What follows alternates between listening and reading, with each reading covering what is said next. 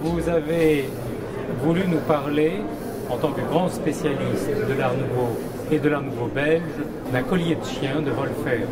Pourquoi cela Parce que c'est un bijou exceptionnel. C'est fait par euh, l'artiste Philippe Wolfers, qui était le directeur artistique de la firme Wolfers Frères, firme fondée en 1850, qui a connu son apogée sur le fils euh, Philippe Wolfers avec ses deux autres frères.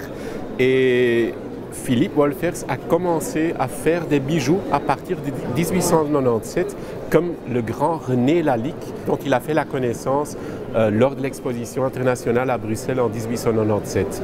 Et ce collier de chien a fait le tour du monde pendant les expositions parce qu'il commençait à faire des bijoux uniques, des bijoux uniques comme des œuvres d'art euh, uniques.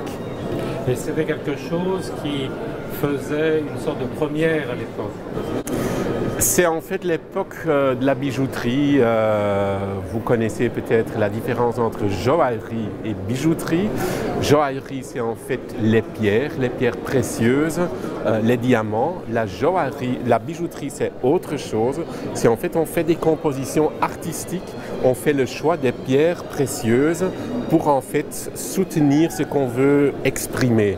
Et ça, le collier de chien est vraiment un exemple clé parce qu'on voit les glycines, les pierres euh, ont été choisies, les opales, pour avoir cette expression, les émaux, les rubis qui sont dans, c'est vraiment exceptionnel. Et tout le coloris des pierres précieuses euh, est en fait choisi sur ce qu'on veut exprimer.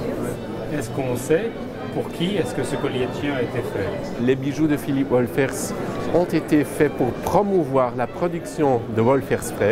Donc c'était en fait une, stratégie commerciale. Donc le directeur artistique de Wolfers Frères, c'était Philippe Wolfers, qui exposait lors des salons un peu en Europe entière comme artiste indépendant, mais avec le message que c'est le même artiste qui dessinait tout pour Wolfers. Donc ces bijoux, c'était toujours exposé dans les villes où il y avait une succursale Wolfers. Et ces prix inabordables pour ces bijoux, ça montait jusqu'à 20 000 francs à l'époque. 20 000 francs, un fonctionnaire à Bruxelles gagnait 1400 francs par an. Donc vous voyez déjà euh, le prix. Mais tout était plus abordable chez Wolfers. Donc le bijou a été créé pour promouvoir les produits Wolfers, mais on sait que ce bijou a été récupéré par après par Philippe Wolfers pour le donner à son épouse Sophie Wolfers-Willstetter, qu'il a gardé pendant toute sa vie.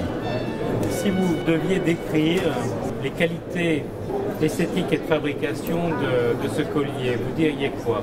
C'est vraiment le plus haut niveau de la bijouterie de l'époque. Tous les pierres ont été taillées. Il faut savoir, pour la taille des pierres, surtout les glycines, ils avaient un plâtre en grand. C'était fait suivi par l'aiguille, par le tour à réduire pour le faire en plus petit.